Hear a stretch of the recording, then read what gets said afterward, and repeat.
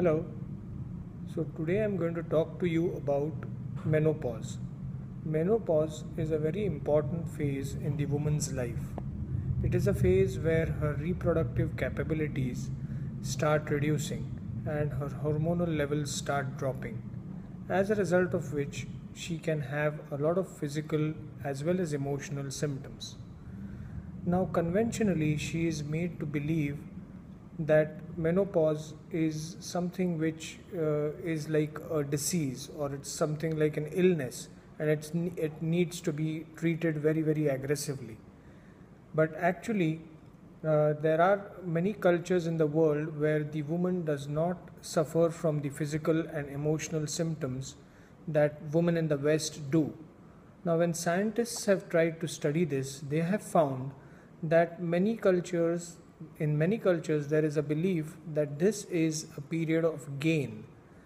A period of gain meaning that the woman has gained a lot of maturity and she has uh, seen all the thicks and thins of life. So she is a more mature more wise woman capable of giving advice to the younger generation. This makes a huge difference to the overall health of, of women in this culture. And we see that they do not suffer from the uh, conventional symptoms of irritability or um, breast tenderness and uh, other uh, hot flushes and other symptoms that uh, women in the West generally do. Now, in the West, a woman is al- always made to believe that since her reproductive capabilities are reducing, since her hormones are dropping, as a result, she is of no use anymore and this is considered as a period of loss for her. Now, when this is imbibed in her mind, she starts uh, developing symptoms like anxiety, like irritability, and many other symptoms associated with the uh, depleting hormones. The key is to try and find a balance. Uh, of course, there are a lot of treatments available for uh, various symptoms that a woman can go through. And uh, again, conventionally, hormone replacement therapy is something that is suggested. Now, this hormone replacement therapy, uh, what is done is that artificially prepared hormones which uh, have a similar molecular structure to the hormones that are present in a woman's body so these artic- artificial uh, hormones are prescribed, and many a times we see that women do not adjust to these hormones. They have a lot of symptoms as a result of uh, taking hormone replacement therapy tablets. Uh, so on the other hand, if she uh, tries to uh, go for natural resources, the natural uh, natural resources like changes in her diet, like um, the uh, uh, homeopathic remedies that uh, that she can take during this time all these lead to stimulating her vital force and stimulating a process uh, in her body whereby the hormones that are getting depleted are secreted naturally. So if you see uh, the uh, nature is in nature the woman's body is designed in such a way that at the time of uh, menopause, uh, when uh, she gets depleted with the eggs or the ovum, and um, uh, as a result of which the follicular stimulating hormone levels drop or the estrogen levels drop, and the ovaries start uh, to reduce their function.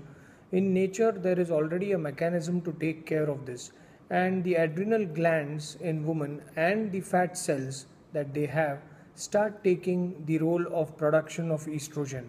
So, our idea should be to try and stimulate these adrenal glands and these fat cells to uh, secrete more and more hormones naturally because whatever is produced in her body naturally is going to suit her better than those artificial hormonal pills. The other problem with the artificial hormonal pills is that it is uh, known to be causing a risk of developing cancer or uh, uh, deep vein thrombosis, and there are many other conditions associated with the overuse of hormonal treatment. So, the idea that I'm talking about here is to try and encourage women to stimulate a natural process within them. So, how can this be done? This can be done by simple techniques as uh, following certain changes in her uh, in her daily routine, the exercise, the uh, nutrition.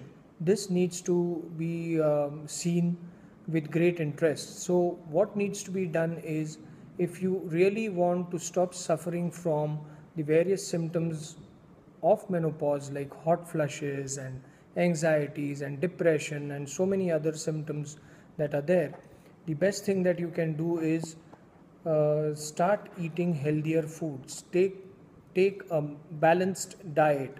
For example, stop eating a lot of processed food and sugar a lot of bakery products, refined food, processed food, and sugar tend to interfere with the hormonal balance. So you just stop that. Instead, start eating whole grains uh, and uh, choose fresh fruits. Uh, there are a lot of food products like um, the uh, seeds, for example.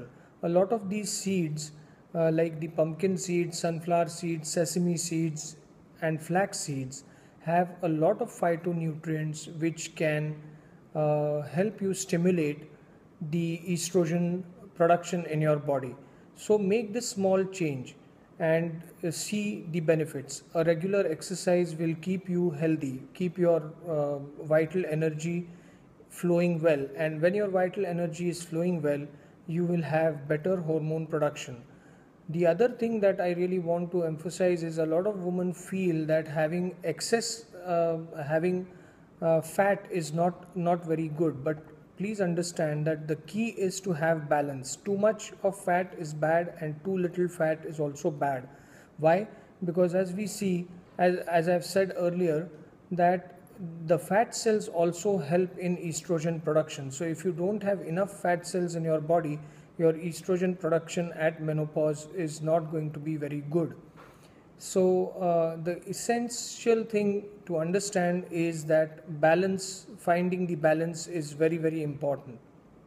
Of course, there can be situations where you can have a lot of physical symptoms like excessive bleeding or pain or irregular cycles, and some women tend to develop fibroids and so on. Many a times you may have hot flashes or uh, you may feel a lot of anxiety during this period and uh, uh, it may uh, it may be that you get very very irritable and so on but for all all these kind of symptoms there are natural therapies available homeopathy is one of the best forms of treatment where the entire person is considered as a whole the physical mental emotional all the symptoms are considered and remedies are prescribed.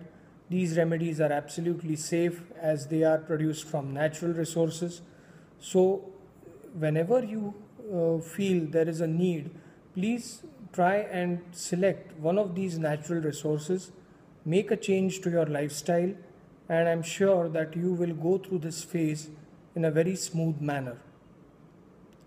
In my subsequent uh, videos, I will be discussing with individual problems during menopause. So there are issues like osteoporosis, there are issues like uh, hot flushes, etc., and how certain kinds of foods and certain kind of techniques can help you overcome these symptoms. That is what I'm going to talk in my subsequent videos. Till then, take care. Goodbye.